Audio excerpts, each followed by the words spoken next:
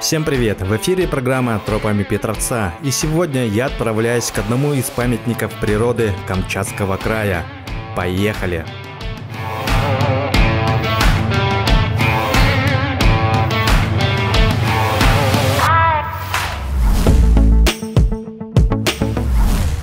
Смотрите сегодня в выпуске.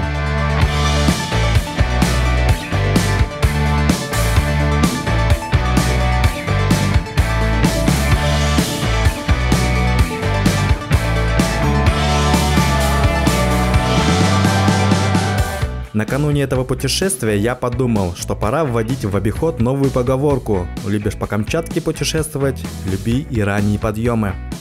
Вот кроме шуток, чтобы приехать к месту встречи вовремя, мне пришлось встать раньше солнца. Все утепляются перед выездом, ехать долго и далеко. Мороз так и не отступил. Выдвигаемся от поселка Термальный. Ехать на снегоходах около 30 километров. Путь наш извилистый, водителю приходится использовать все акробатические навыки, чтобы проехать без проблем.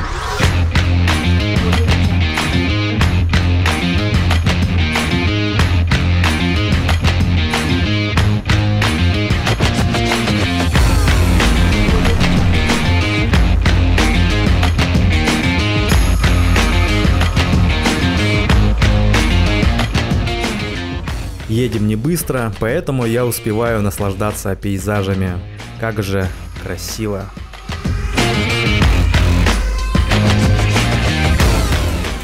Кстати, не все из нашей группы едут на снегоходах. Есть смельчаки, которые двигаются на буксире на сноубордах.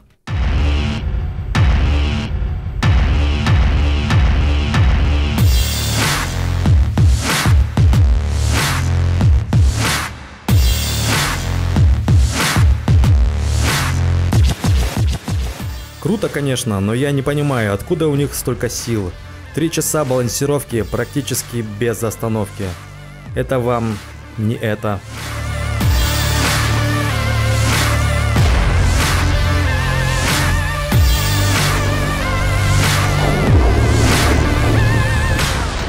О, беги, косой, беги, давай, давай, давай! Преодолев от Петропавловска 70 километров, мы наконец-то на месте. Природный памятник регионального значения – озеро Тополовое.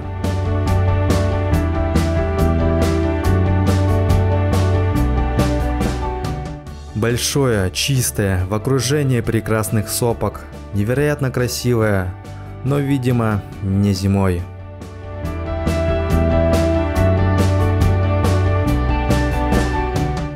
Знаете, хочется программу вести честно, поэтому откровенно скажу, что я разочарован.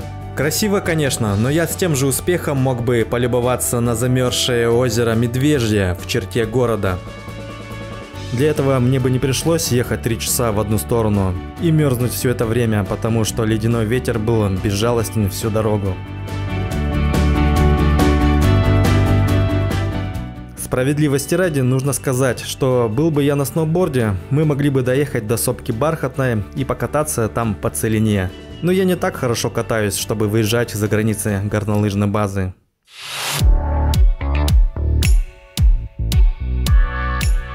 А еще говорят, что поездка была бы интересна, если бы я любил рыбалку. С января по апрель сюда приезжает много любителей подледного лова. Опытные рыбаки говорят, что улов тут шикарный. Голец, корюшка, навага и иногда даже кижич.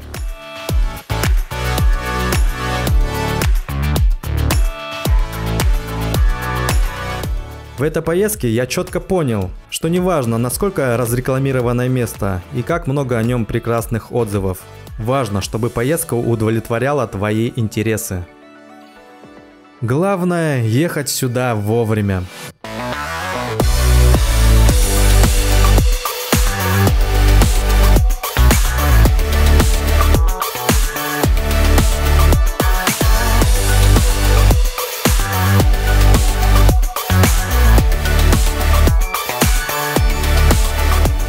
Думаю, повторю эту поездку летом или осенью. Так будет честно по отношению к этому месту. Три часа обратной поездки я тоже знатно мерз. Поэтому был бесконечно рад тому, что в месте, где я собрался приходить в чувство, есть баня. Любимая моя банька. Но обо всем по порядку. Сегодня я отдыхаю в деревеньке. Добраться до деревеньки вам не составит труда. Своим транспортом или на такси. Всего в пяти минутах езды от города Петропавловска-Камчатского по трассе Морпорт-Аэропорт.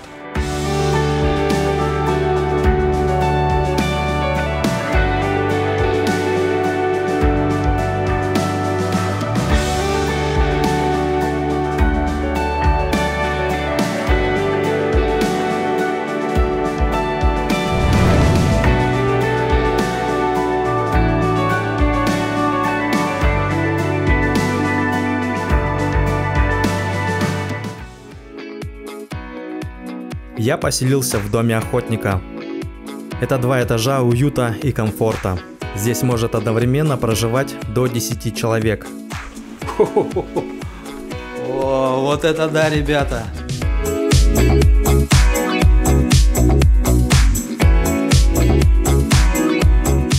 Сегодня этот домик целиком мой. И самое, что главное, что мне очень нравится, то здесь банька. Уже затоплено.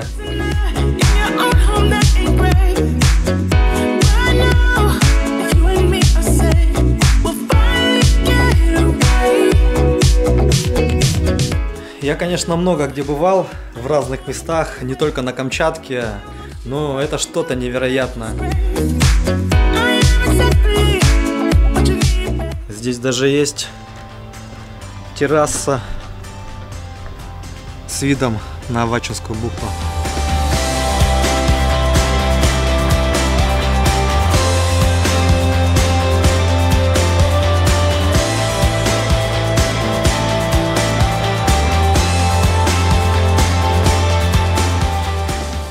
Домик мой восхитительный.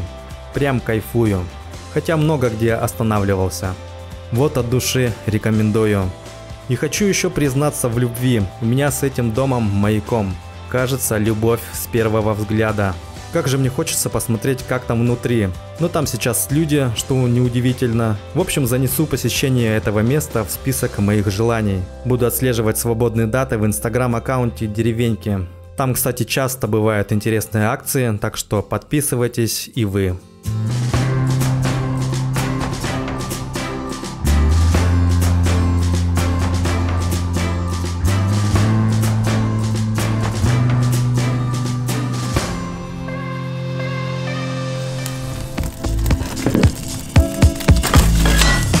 Время баньки – это мое самое любимое времяпрепровождение.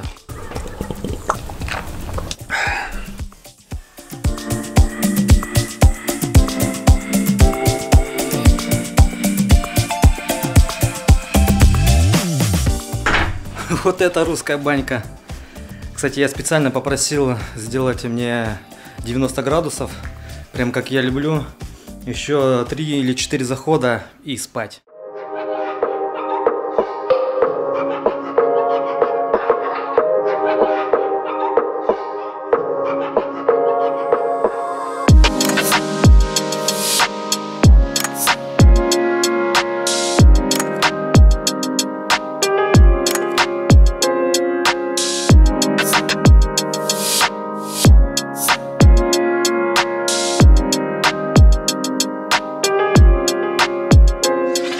Как жаль, что уже пора возвращаться в город на работу. Такой отдых я буду вспоминать с улыбкой. Не пропускайте мои видео, смотрите меня в соцсетях, Камчатка онлайн, Масс Медиа News, ну и, конечно же, на телеканале Камчатка. Все, всем спасибо за просмотр, пока.